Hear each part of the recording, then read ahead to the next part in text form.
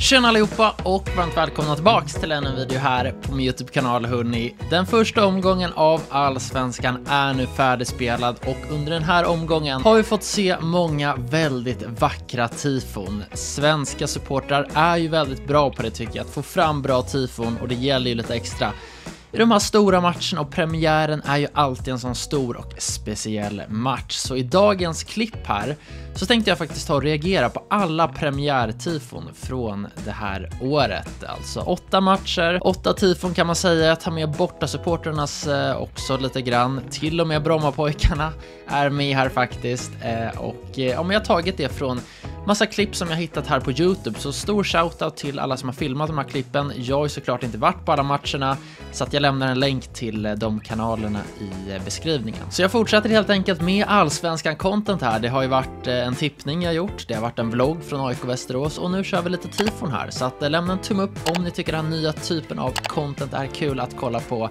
och prenumerera jättegärna så att ni inte missar mina kommande videos. Men hörni, vi ska ta och börja med Norrköping mot Malmö Malmö FF. Den första matchen i årets allsvenska som spelade i lördags. Vi vet ju hur det gick, men jag hade inte riktigt lika stor koll på hur tifosarna såg ut. Tifosarna, tifona kanske låter bättre va Gunnar, men eh, vi har ju Malmös tifo där i alla fall och eh, sen ehm, eh, filmar han över här på Norrköpings tifo som har gjort ett bra jobb där. Det är liksom, jag vet inte riktigt hur man ska tolka det här, men det känns som att det är lite mer eh, gammaldags till vänster och lite mer nytt till höger. Det är svartvitt och sen lite mer färgglatt till höger och eh, Malmö kör lite mer kaos-tifo med, ehm, med rök och eh, massa ballonger typ.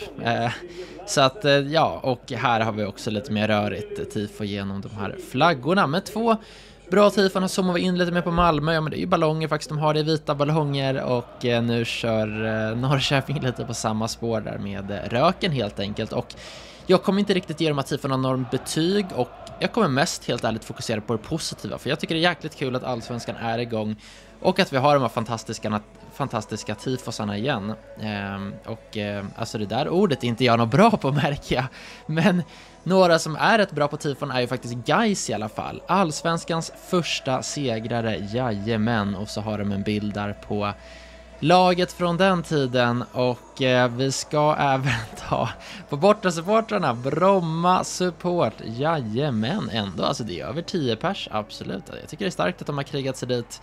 Och eh, det blev en lyckad match för dem. Och eh, Ja, jag kollar igenom det här klippet och man märker att det är många Gais-supportrar som är taggade på att serien är igång. Och herregud hörni, ni som håller på Gais, det är ändå 29 matcher kvar. Mycket kan hända trots den där inledningen. Med Kalmar där såg vi, hade några tillresta supportrar och sen har vi Hammarbys tifo. Du är ljuset i gläntan, mitt mål för all längtan, du är kärlek, hopp och tro. Ja men det är väl fint ändå.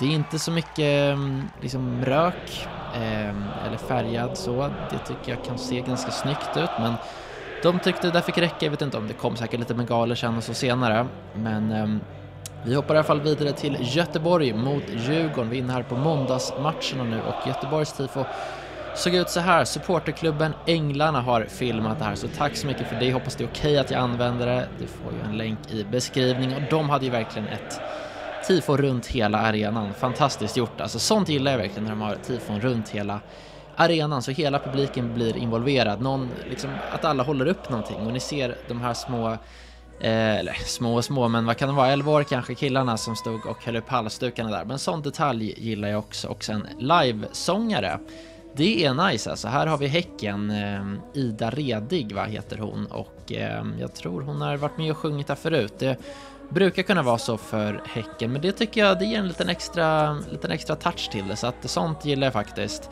Och eh, vi ser här att eh, den här Häckensupporten är riktigt taggad. Han, det här vill jag ta med. Otroligt kul att se någon som verkligen lever sig in i sången och eh, här avslutar säsongen. Och alltså grejen är, jag kommer tyvärr inte kunna ha med så mycket av ljudet från de här låtarna tror jag, för många av låtarna är nog eh, copyright tyvärr. Så att eh, det är därför jag inte har med eh, ljudet helt enkelt. Men Sirius då, staden där jag bor i numera. Jag var inte på den här matchen, men jag har kikat här på tifot och det är faktiskt bra jobbat. Alltså vår hyllning till staden som vi älskar, jajamän. Och ett tifo som, eh, som måste ha tagit sin tid att göra. Det täcker en stor del där av, ehm, av läktaren ändå och eh, live, livesånger även där. Det gillar jag. Och nu släcktes lampan här. Kolla, jag kör ju två lampor. Kolla, där tändes den igen. Ehm, de kör även lite ehm, flaggor där och Västerås då. Alltså, det här var nog tifot som överraskade mig mest, att de hade så pass många supportrar och eh, AIKs tifo har jag studerat lite mer här nu i detalj och eh, alltså wow, alltså det är verkligen en applåd till det. Alltså de här detaljerna och även budskapet. Jag såg något om det på eh, något klipp på TikTok liksom, en kille som snackade lite om det där och det här är ju liksom det talar ju för alla lagen och för många supportrar också så att det är inte så, så typiskt AIK just, att det är AIK som är bäst, att det är fokus på det, utan det är just den svenska fotbollen ehm, eh, och allt vad som eh, det protesteras mot och vad supportrar tycker. Så att eh, ja, det, det, ja, alltså verkligen cred, helt sjukt. Helt sjukt, man skulle vilja se lite processen, hur ett sånt här tifo går till att göra. Jag vet att jag sett det någon gång, men det där det där är hats off, alltså otroligt bra jobbat. Och här har vi då Elfsborg. Elfsborg som eh, har några supporter här. Hon eh, sjunger på där.